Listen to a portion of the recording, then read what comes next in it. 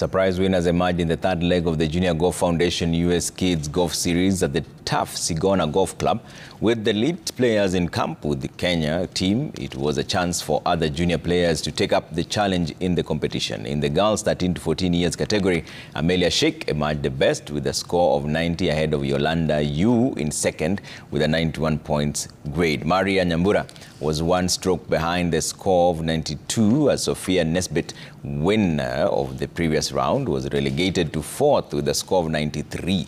Only four shots separated the top four players in a closely contested category. In the girls 9 to 10 years category, Ziana Koda won in the playoff against Irina Sio.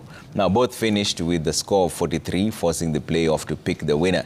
Ashley Gashora with a score of 45 finished third and Arya Dodia ended up fourth with a score of 47. The next round of competition will be at the Winds uh, at the end of March.